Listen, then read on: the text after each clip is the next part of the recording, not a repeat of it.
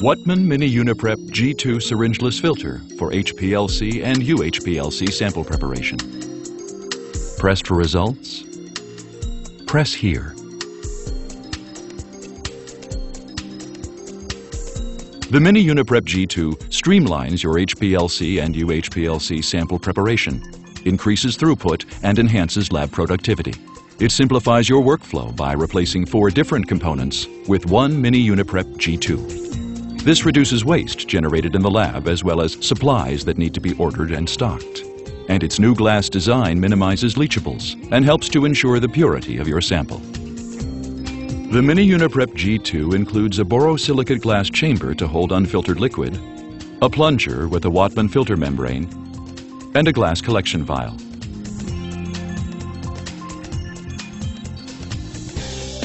The glass chamber is placed in the hand compressor base. Liquid is placed into the glass chamber. Maximum volume is indicated by the fill line.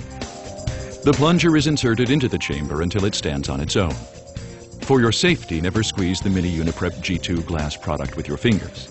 Use a hand compressor to safely depress the plunger into the unfiltered liquid.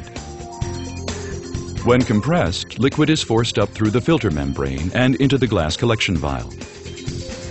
Particulates are removed as the liquid flows through the filter.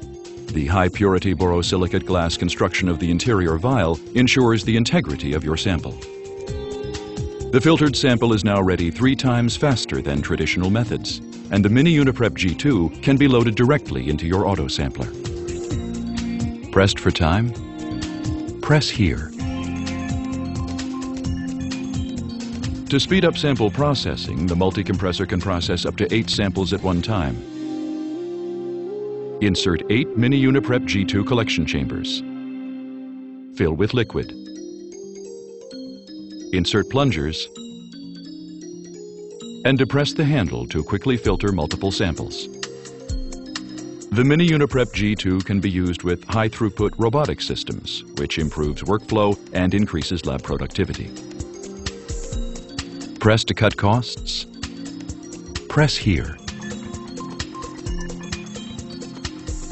The Mini Uniprep G2 eliminates multiple consumables, reduces sample preparation time, and automatically filters your sample, ensuring no instrument downtime due to unfiltered samples.